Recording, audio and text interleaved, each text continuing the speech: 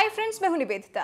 इन दिनों नेहा कक्कड़, रोहनप्रीत के साथ अपनी शादी और अपने हनीमून को लेकर खूब सुर्खियों में हैं। दोनों की हनीमून की पिक्चर्स इन दिनों सोशल मीडिया पर काफ़ी पसंद की जा रही हैं। हाल ही में दोनों अपने हनीमून से वापस लौट आए हैं तो दोनों का फोकस अब अपने काम पर है नेहा जल्द ही रियलिटी शो इंडियन आइडल 12 में जज के तौर पर नज़र आने वाली है, जिसके प्रोमो भी हाल ही में सामने आ चुके हैं इस शो के ऑडिशन का एक वीडियो इन दिनों बड़ी ही तेज़ी से सोशल मीडिया पर वायरल हो रहा है, लेकिन ये वीडियो वायरल क्यों हो रहा है, इसके पीछे की वजह भी हम आपको बता देते हैं। दरअसल शो में ऑडिशन देने आए जयपुर के कंटेस्टेंट शहजाद अली का ये वीडियो है। शो में आए शहजाद इस वीडियो में बता रहे हैं कि वो जयपुर में कपड़े की दुकान पर काम करते हैं। जब वो छोटे थे, तभी उनकी माँ चल बसी थी, जिसके बाद उनकी नानी ने उनकी परवरिश की। और मुंबई में इस शो में आने के लिए शहजाद की नानी ने ही बैंक से पाँच हज़ार रुपए का कर्ज लिया है। शो में अक्सर कंटेस्टेंट के लाइफ के स्ट्रगल के बारे में जानकर भावुक हो जाने वाली नेहा कक्कड़ इस बात को सुनकर इमोशनल हो गई और वो शो में शहजाद की मदद करने से खुद को रोक नहीं पाई। नेहा ने शहजाद की मदद के लिए उन्हें तोहफे में एक लाख रुपए दिए।